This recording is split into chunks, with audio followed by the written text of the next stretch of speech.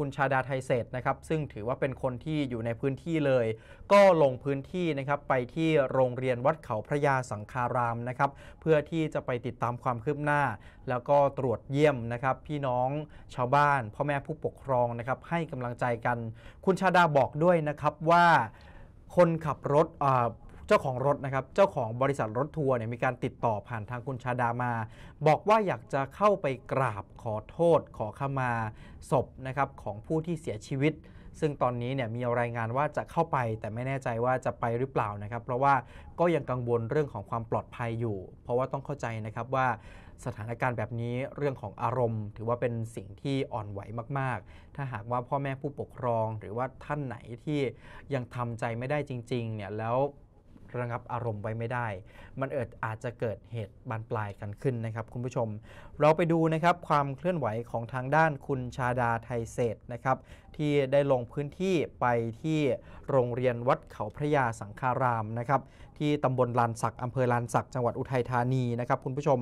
คุณชาดาไทยเศรษฐ์นะครับบอกนะครับว่าการเดินทางลงไปวันนี้เนี่ยก็จริงๆไป ช่วยดูงานตั้งแต่เมื่อวานนี้แล้วนะครับ ก็ได้ให้สัมภาษณ์กับนักข่าว บอกว่าตอนนี้ได้รับเตาเผาจากบริษัทนะครับ ทีม Tech and Tech and Tech and Engineering จำกัดนะครับ ขออภัยครับนำเตาเผาไฟฟ้านะครับมาช่วยเหลือในวันพิธีพระราชทานเพลิงศพด้วยนะครับ โดยจะมีการเผาครั้งละ 5 เตานะครับ โดยใช้เวลาประมาณครั้งละ 45 นาที และยังจะมีนักการเมืองท้องถิ่นรายอื่นนะครับติดต่อมาด้วย บอกว่าทางเจ้าของรถเนี่ยและคนขับรถ อยากที่จะเข้ามากราบศพ แต่ห่วงเรื่องของความปลอดภัยนะครับ โดยตนก็ได้ตอบไปแล้วว่าให้มาเลยนะ ผมเนี่ยอยู่ที่นี่อยู่แล้ว เดี๋ยวจะช่วยดูแลเรื่องของความปลอดภัยให้นะครับคุณผู้ชม คือความเคลื่อนไหวในพื้นที่เองเนี่ยก็มีอยู่หลายอย่างเหมือนกัน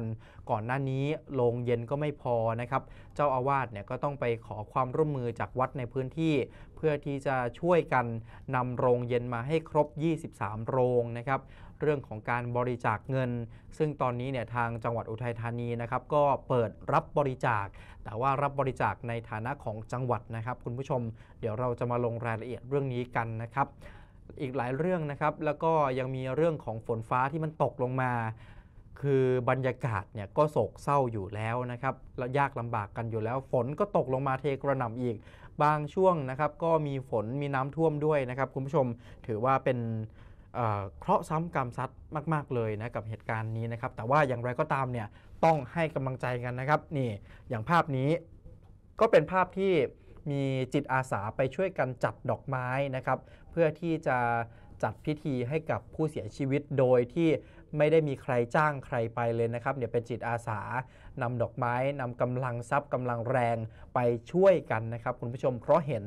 ว่าเหตุการณ์ครั้งนี้เนี่ยมันจะต้องได้รับความร่วมมือจะต้องได้รับการช่วยเหลือที่สุดคือให้กำลังใจกันนะครับ คุณผู้ชมก็ต้องไปช่วยกันดูนะครับ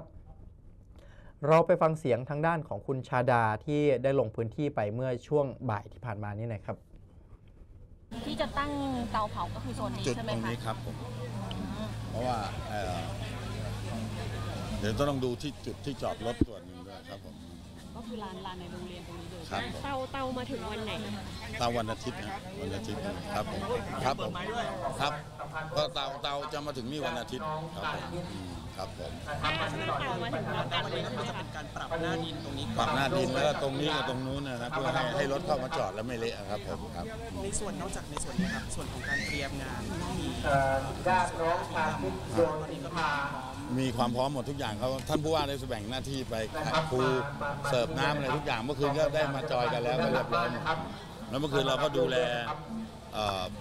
ผู้ปกครองของผู้เสียชีวิตนะครับ ผมก็ดูแลไปส่วนหนึ่งก่อน เพราะว่าไม่เกี่ยวกับของหลวงของส่วนตัวมั่งพักพวกมั่งอ่าแล้วก็แต่ที่สำคัญเนี่ยที่ที่วันเนี้ยที่ผมเป็นห่วงเนี่ยตรงเนี้ยก็น่าจะพนันแล้วแล้วก็การเยียวยาคือแต่เด็กสามคนเนี่ยที่ยังป่วยอยู่นะครับที่ยังป่วยอยู่เนี่ยเอ่ออีกสองคนอาการหนักนะครับอาการหนักอะซึ่งผมผมอยากให้สังคมมองด้วยนะครับว่าเด็กพวกเนี้ยจะต้องรักษาตัวไปอีกนาน นะครับ รักษาตัวไปอีกนานแล้วก็เขาจะต้องใช้ชีวิตอย่างไงนะครับ ผม23 ศพเนี่ยต้องเยียวยา แต่เด็ก 3 คนเนี่ยจะอยู่ในโลกนี้ต่อไปในสภาพแบบไหน หน้าหน้าเป็นแผลเป็นแล้วก็อีกอีกคนยังไม่ทราบว่า ยังไม่ทราบว่าจะดูล้างเมื่อวานนี้ล้างตาได้แล้ว เมื่อวานผมก็ไปดูอยู่ยังเหลือที่ราบราชพิถีคนยังไม่ได้ไปดู แต่สองคนนั้นผู้ปกครองผมก็ support เงินไปให้